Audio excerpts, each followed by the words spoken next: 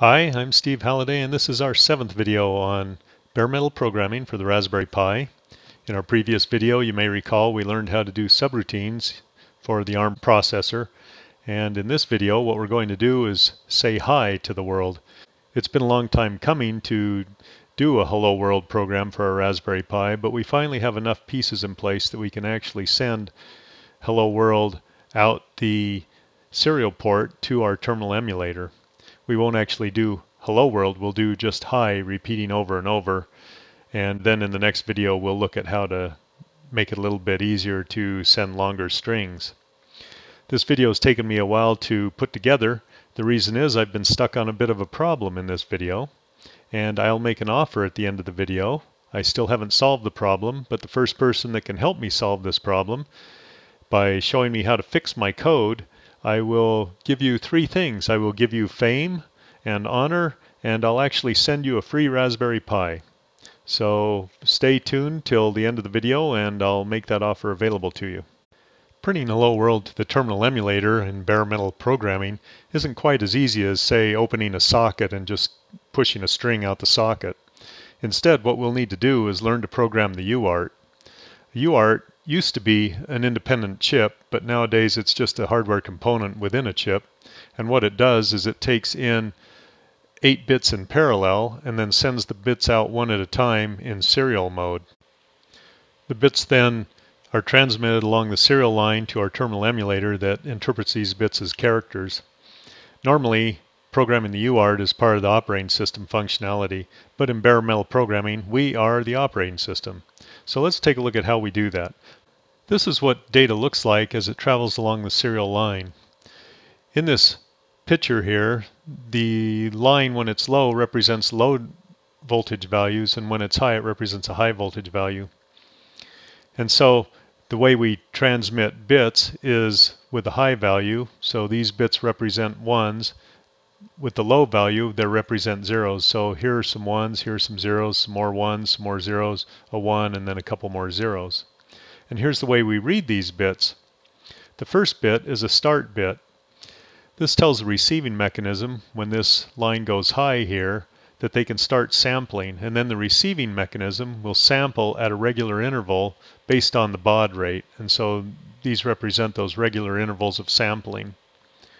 Once the UART transmits the start bit then it begins to transmit data bits. In this example, these are the bits I'm transmitting. So you'll see these first three ones here, and then a couple of zeros, a couple of ones, a couple more zeros, and then finally the, the last one here.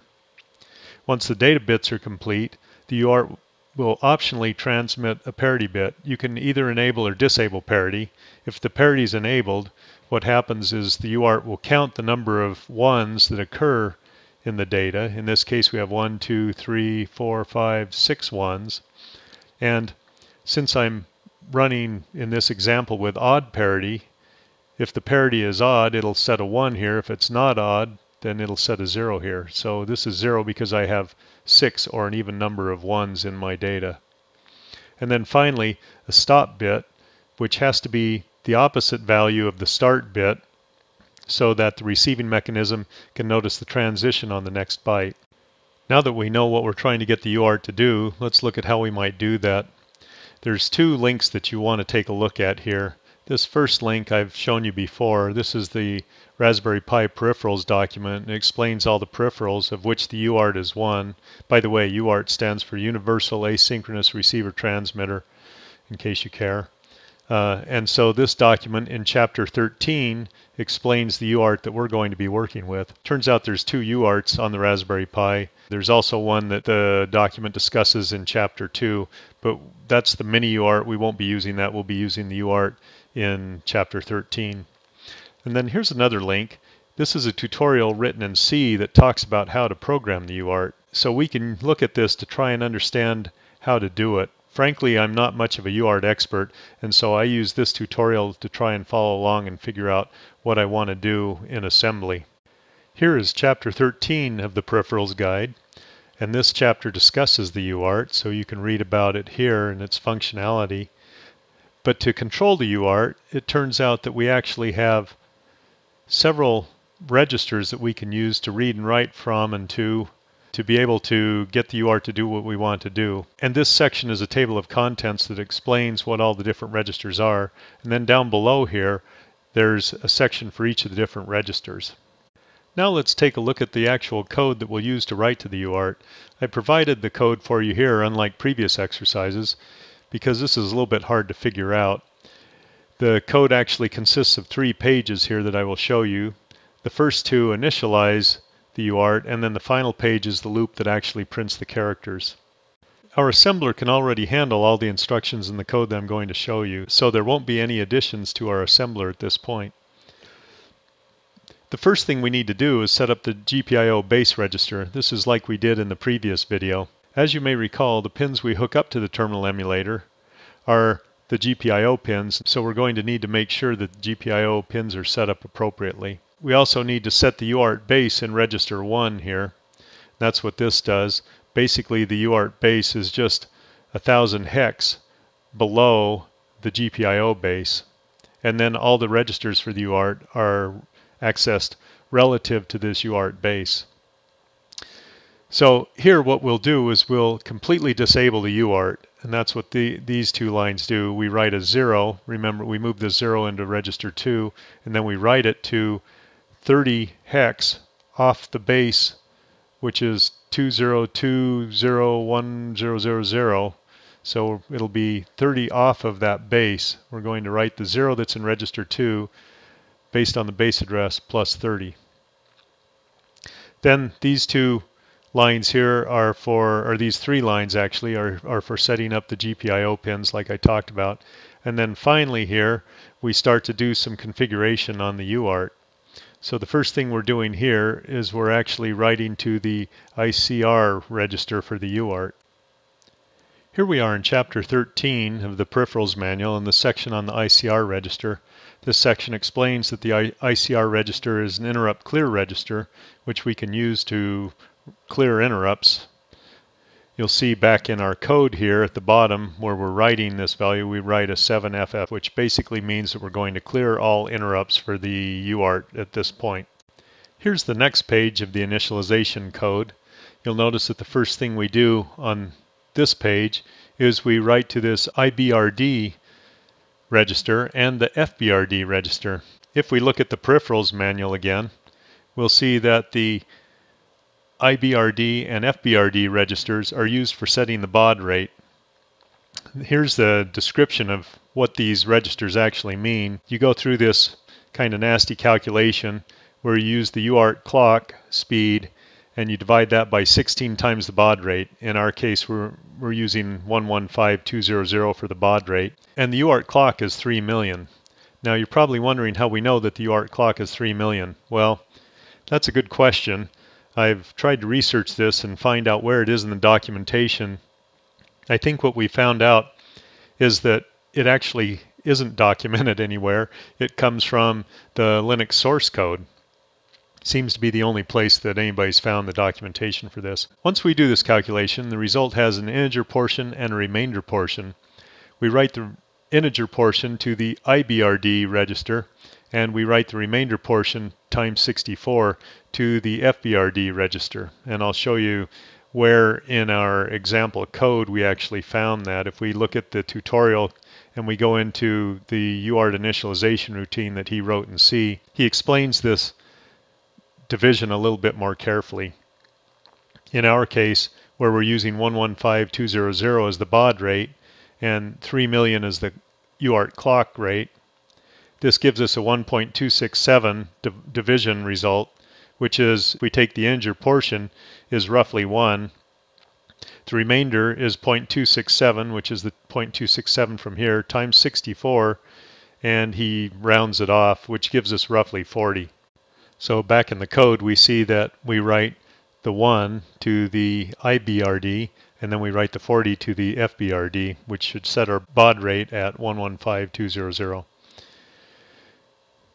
Next, we write to the LCRH register. We're going to write bits 4, 5, and 6.